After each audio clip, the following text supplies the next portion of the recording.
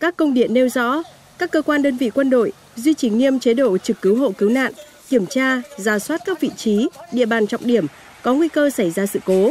chú ý đề phòng lũ quét, sạt lở đất đá, bổ sung kế hoạch phương án ứng phó, theo dõi nắm chắc tình hình thời tiết, khí tượng, thủy văn từng khu vực, sẵn sàng lực lượng phương tiện, tham mưu đề xuất xử lý kịp thời hiệu quả các tình huống. Theo Bộ Tài nguyên và Môi trường thì dấu hiệu của sạt lở đất là mưa lớn liên tục nhiều ngày, xuất hiện vết nứt ở tường nhà, sườn đồi, cây cối có dấu hiệu nghiêng, nước sông suối chuyển màu đục, mặt đất phồng lên hoặc rung chuyển, nghe có âm thanh lạ trong lòng đất. Khi phát hiện ra những dấu hiệu trên, người dân cần theo dõi thông tin cảnh báo lũ quét, sạt lở đất để thông báo kịp thời cho chính quyền và những người xung quanh.